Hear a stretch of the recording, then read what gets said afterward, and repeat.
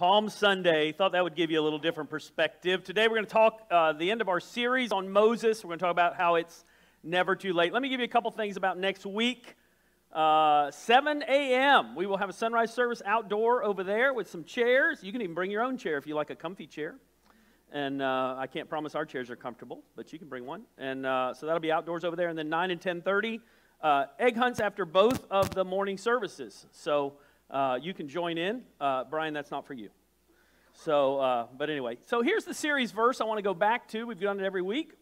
Then the Lord said from Exodus 4, What is that in your hand? A staff, he replied. The Lord said, Throw it on the ground. Moses threw it on the ground, and it became a snake, and he ran from it. So, week after week, we've talked about Moses. We've talked about uh, what God was doing in his life, how he killed a man early on uh, in anger, how God uh, began to do miracles through Moses. And we get near the end of the story, and uh, basically we're skipping the 40 years in the wilderness. Sorry, you can read that book of uh, Exodus for you. But we skipped all of that, and we get near the end of Moses' life, and we start looking and we say, all that Moses did and now he's going to be denied the promised land. I don't understand God. Let me ask you this question. You ever feel like it's too late for God to get a hold of someone? Maybe you know somebody who's very angry. Uh, listen, maybe you know a Christian who acts worse than non Christians. Uh, I used to work at Quincy's with my buddy here. And, and we would see people, and, and back then, a lot of the ladies that I worked with did not go to church. And they, a church would come in and they would say, that's a bad church, that's a good church. And it was based a lot on how the people from churches treated the people. Let me tell you something people notice. So, so why are Christians so grumpy sometimes? And why do we think God can't change us? It's too late. I've always been this way. Maybe we have that Popeye syndrome. I am what I am. Actually, he said, I am what I am, right? It's just who I am. This is how I am. I, have always been mean and grumpy in this. And so I realized something about me that I want to share with you as we get into this message. And I want to give you one illustration you can hang on to. See, when I was a kid, I worked for my dad. My dad owned a construction company in Miami. And from a very young age, he had me working for him. And the good news is I learned how to work hard. The bad news about working for your dad is you, your dad, not on purpose, you begin to equate I'm loved when I work hard, and I'm not when I don't. And many of us grew up that way, whether on purpose or on accident. But the truth is, we start to equate that to God. And we think, I've got to work hard so that God can love me. You know, nobody else in this church works as hard as I do. I tell you what, God needs me. Doesn't that just make for a wonderful Christian person? But we've all had those thoughts and those attitudes. We've even washed dishes at our house in angry ways because we said, nobody does this. Isn't that just a pleasant person to be around? Somebody who's earning love? Here's the amazing thing about God God's grace says that even when you don't sweep, He still loves you. But what happens when you really understand God's grace is you do the same thing, but with a different heart. You say, God, Thank you that I get to serve. Even if no one else does, God, I'm just going to serve you and do what you've called me to do. I'm going to love my neighbor. I'm going to reach out to people even when I get nothing in return because I know you've already given me everything. And I want to go back to Moses because Moses represents the Old Testament law, and even Moses needed God's grace. So today I want to talk about how we can walk or how to walk in God's amazing grace because we fall short. That's our first point. Realize that we all fall short. So we're going to pick up in Numbers chapter 20. You'll have to forgive me today. I'm skipping around a little bit to make a point, but I'm going through the story. You'll have to get your Bible out and read the book of Numbers for yourself for this one. So the people are thirsty, they're complaining, they're whining. Moses has lost his sister. So he's grieving on top of everything else and dealing with grumpy people. And then it says this He and Aaron gathered the assembly together in front of the rock, and Moses said to them, by the way, God had just told him, speak to the rock. Moses says, Listen, you rebels, must we bring you water out of this rock? Time out. Moses now says, Do we have to do that? Guess who was actually doing it? Was it Moses? No. What happened? Pride, anger. By the way, those two typically go together pride and anger. And so Moses did what we do when we get angry. He overreacted then Moses raised his arm and struck the rock. How do I know it was on purpose? Twice. You know, you could accidentally one time bump the rock, but if you're whaling it twice, guess what? It was not an accident. With his staff, water gushed out. By the way, God blessed it anyway and the livestock drank. But the Lord said to Moses and Aaron, Because you did not trust me enough to honor me as holy. What does that mean? God set apart. God was the one that was making this happen. God is the one that you should have been pointing to, but because you didn't, in the sight of the Israelites, you will not bring this community into the land I give them. Time out. I remember reading this and thinking, that is so unfair. 120 years, his whole life based on leading the people in the promised land, and he gets almost there, and God says, You know what? You got angry one too many times. No. Wow. You know, it's been interesting this year and last year to see more and more big name pastors falling. Some who, you know, some who you said, Yeah, I never really liked them, but then other ones you went, Oh no. And what happened? Anytime we become prideful, think that we're better than other people, think that we're above sin, think that we're above accountability, we can fall and we can fail. And here's what we need to realize that we all have the potential to fall and to fail. That's why we need confession and grace. You know, there's the principle of the sower. You reap what you sow, you reap later than you sow, and you reap more than you sow. And we love that when we've done something good, but we hate that if we do something bad. We sow and then we say, God, pull the weeds. Right? But God is even better than that. Listen to what it says in Romans chapter 3, very familiar verses 21 to 24. But now, apart from the law, the righteousness of God has been made known, to which the law, oh, that's Moses, and the prophets testify. This righteousness is given through working really hard. And if I just work hard enough, then God will love me more. And I, if I just, oh no, I messed up, so God doesn't love me. No, listen. Given through faith in Jesus Christ to all who believe. And then it goes on to say there's no difference between Jew and Gentile. Why? Because all have sinned and fall short of the glory of God and are justified freely by his grace through the redemption that came by Christ Jesus. See, we have a hard time understanding grace because most of us live by reward and punishment. And the more legalistic we are, we think the more right we are and the more angry we are. By the way, if you're angry a lot, you struggle with grace. One of the key factors in knowing if you're a gracious person is if every time something happens, you're offended and irritated and aggravated. You might need to start looking in the mirror instead of looking around you and wondering what's wrong with those people. And start wondering, why am I not filled with God's grace.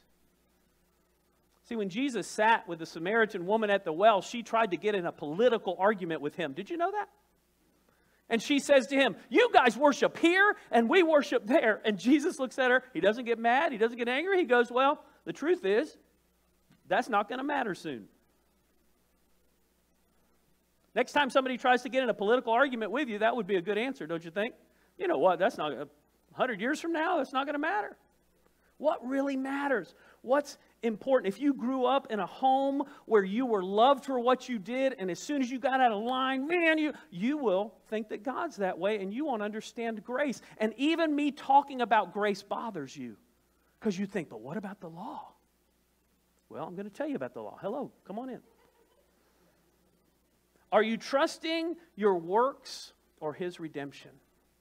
You know, even we always say that these religions they always work their way to god but if you're not careful you become a christian and then you think you're going to earn your way to god. It's the opposite. You should know that god loves you so much that it's a joy to serve. It's a joy to do what god wants you to. If you're always thinking well i got to do this for god to love me then this is the kind of christian you're going to become. But if you understand that he already loves you then when you serve it's out of joy and out of peace. And the fruits of the Spirit come naturally. Number two, recognize that God reveals his promises. God always shows us ahead what's going to happen. So, this is what happens to Moses in Deuteronomy 34 4 through 7. Remember, God wasn't going to let him in the promised land, but this is God's way of showing him the future. Then the Lord said to him, This is the land I promised on an oath to Abraham, Isaac, and Jacob when I said, I will give it to your descendants. I have let you see it with your eyes, but you will not cross over into it. And Moses, the servant of the Lord, died there in Moab, and the Lord had said, and then I love this, he buried him in Moab. God buried Moses. Isn't that awesome? In the valley opposite Beth Peor, but to this day, no one knows where his, his grave is. If you look at Jude chapter 9, by the way, there's this really obscure verse where Satan argues with God, or Satan, argue, uh, Satan argues with an angel about Moses' body.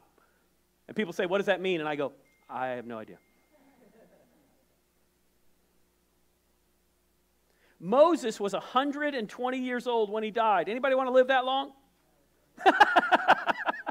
you know, if you're watching online, I just want you to know the answer to that question was a little too loud. A little too loud. Moses lived to be 120 years old when he died. Listen to this. Yet his eyes were not weak. I, I've already messed that one up. Nor his strength gone. Moses was able to see the future. God showed him what was going to happen. You know, in the Old Testament, the Bible promised us in Zechariah 9 that a Savior would come into the city. And the disciples thought on Palm Sunday that what would happen is that they would come into the city and they would take over. Remember, they said, We want to sit on your right hand and your left hand where, when we rule. And he's like, mm, Yeah, I don't think it's the way you think it's going to be. They thought they were kicking Rome out, they thought they were taking over. The next day, John 12, 12 through 15, the great crowd that had come for the festival heard that Jesus was on the way to Jerusalem. They took palm branches and went out to meet him, shouting, Hosanna! Blessed is he who comes in the name of the Lord. Blessed is the King of Israel. Jesus found a young donkey and sat on it. Now, I'm going to go back to that in a second. Hang on to that. I want to show you a couple other things. Do not be afraid, daughter Zion. See, your king is coming, seated on a donkey's colt. That's from Zechariah 9, verse 9. In the Old Testament, they were looking forward to redemption. The reason that they celebrated Passover, Passover was not for them to say, we've got our act together and we're doing all these legal things. Passover was a way of them saying, we need a lamb to take our place. We need the blood over the door. The reason we take the Lord's Supper is that Jesus said, I'm the Passover lamb. He's the one who passed over us. By the way, this is not the first time Jesus came into a city on a donkey. His mom brought him in, if you recall, in Bethlehem, Luke chapter 2. If you remember also, the foreshadowing of Jesus in Genesis 49 is when Abraham rode a donkey and he was going to sacrifice Isaac. Isaac kept saying, Hey, what are we going to sacrifice? And he said, God will provide. And he's thinking, It's you. But what did God do? God provided a lamb. When we together take the Lord's Supper, we remember that Old Testament Passover that the Jews, as they left Egypt, God had freed them. They were no longer servants, they were free. And even today, did you know at Passover meals all over the world in the next few days, they will put a pillow behind them at the table to represent reclining? And if you read the story of the Lord's Supper, it says that the disciples were reclining at the table. Did you ever wonder why was that in there? Reclining? Didn't they always recline? It's different. It demonstrated that they were no longer servants. They do it during Passover meal on purpose to show they're no longer servants. Remember who washed their feet? It was Jesus. Why? Because there were no servants other than Christ at the Lord's Supper. Thank God that He keeps His promises. So, number one, we realize we all fall short. Number two, we realize that God reveals His promises. Number three, receive God's grace for you. You know, this week I had the opportunity to baptize one of our ladies. Sharon was baptized at their home in her pool this week. It was an awesome time of her saying, I want to take that next step of faith. We have baptism in a few weeks. People have already signed up and said, I want to take that next step of faith. Maybe I've become a Christian, but I've never been baptized the way Christ was. Every time you walk in obedience, it's a step of faith because of His grace. Not because you're strong enough or smart enough. Can I, can I give you a secret? Did you know the pastor doesn't have a hotline to God? I know that's a shocker. Some of you think, well, if I call Eric and he prays for me, that'll be better. Well, yeah, it's good to pray for each other. But the truth is, when I pick up the phone and when you pick up the phone to pray, God says, right here. Through Jesus, we all have access to God in prayer. Each step of faith is that acknowledgement of God's grace. In Matthew 17, we see Moses again. After six days, Jesus took with him Peter, James, and John, the brother of James, and led them to a high mountain by themselves. There he was transfigured before them. His face shone like the sun, and his clothes became as white as the light. Just then, there appeared before them Moses and Elijah talking with Jesus. And here's compulsive Peter. He's the reason they have to put tags on your blow dryer, right? Peter said to Jesus, Lord, it is good for us to be here. If you wish, I'll put up three shelters one for Moses, one for, Eli- one for you, for Moses and Elijah. While he was still speaking, talk about correction, a bright cloud covered them. A voice from the cloud said, This is my son, whom I love. With, with him I'm well pleased. And then listen to this listen to him. Now, I, my wife knows that there are times that she has to say that to me listen to what I'm saying. This is important. Now, I know it's hard to believe that I get distracted. I know that's a shocker to most everybody who goes here to church, that occasionally I get off the trail. God was doing this to Peter. Hey, Peter, I'm pleased with what Jesus is doing. Listen to what he says.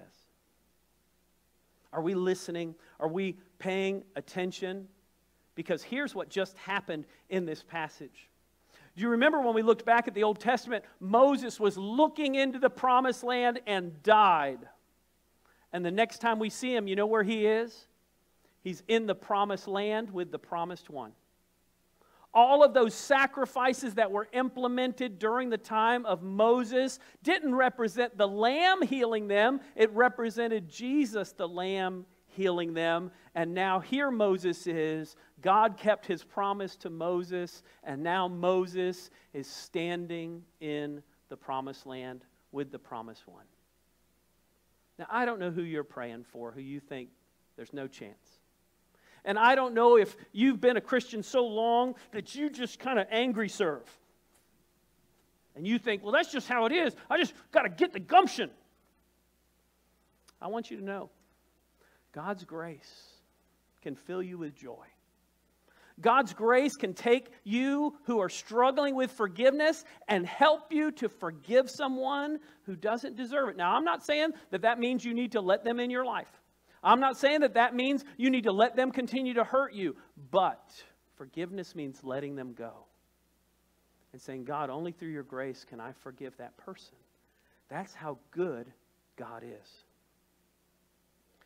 In Ephesians 2 6 through 8, it makes it very clear. And God raised us up with Christ and seated us with him in the heavenly realms in Christ Jesus, in order that in the coming ages he might show the incomparable riches, listen, listen, not of heaven, incomparable riches of his grace.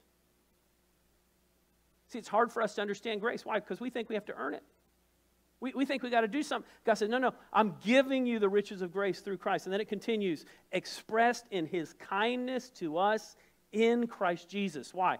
For it is by grace you've been saved through faith. It's not from yourselves, it's the gift of God.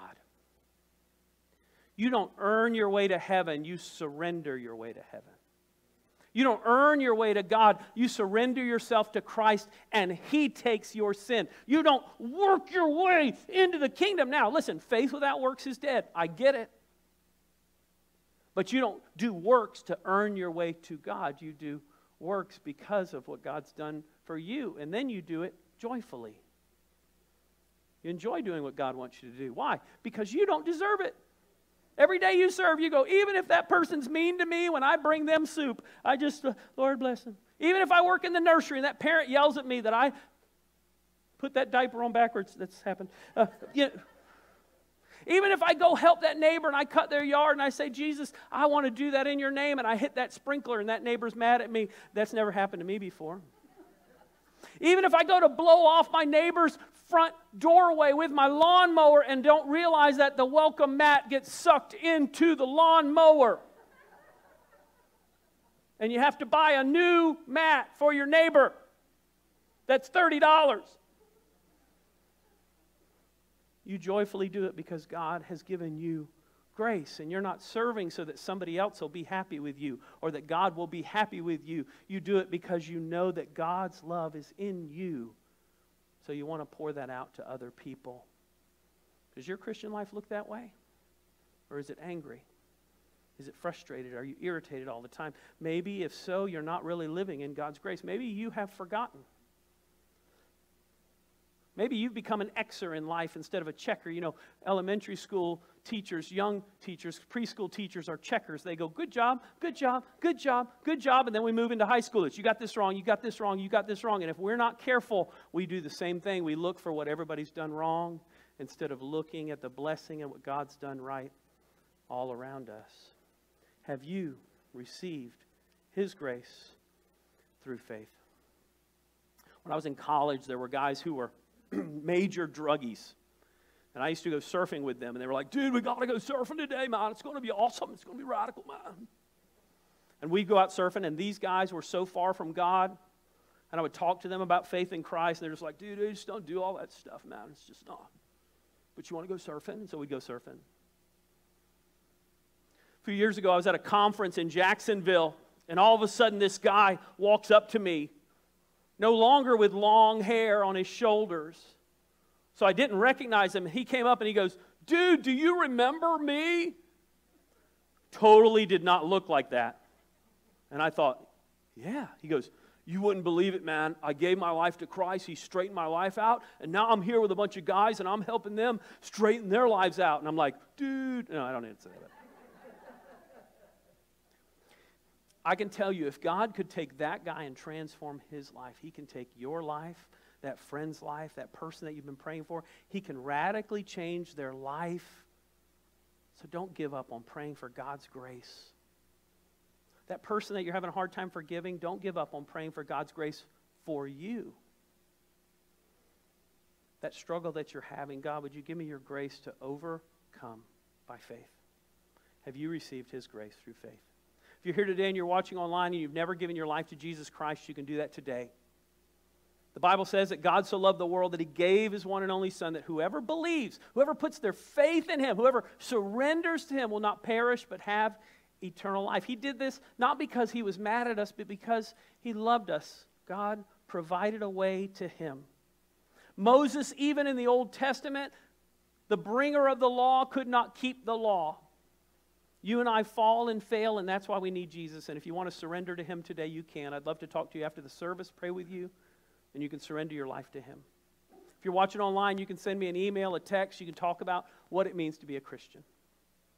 Normally, we go into our time of giving, but you can just give on your way out. If you're on, watching online, you can give online. We thank you for watching today. If you need prayer, we're here for you. We have a great song that goes with the sermon to close this service, but we're going to pray. Father, thank you for these moments. Thank you for your word, your power, and your will. Lord, I thank you for the people whose lives I've seen you change radically just this year in our church. And Father, the people who in my lifetime I've seen take steps of faith. Lord, I thank you for the people who serve joyfully, who've learned what it means to walk in your grace so that even when things don't go well, they smile and say, It's because of God's love that I'm here. And they walk in your grace. May we do that with each other and show others the light of your love. Father, I pray that we could always speak the truth in love, but always in your grace. Thank you that you came in grace and truth. Help us to balance those things. Lord, we love you this morning. In Jesus' name, amen.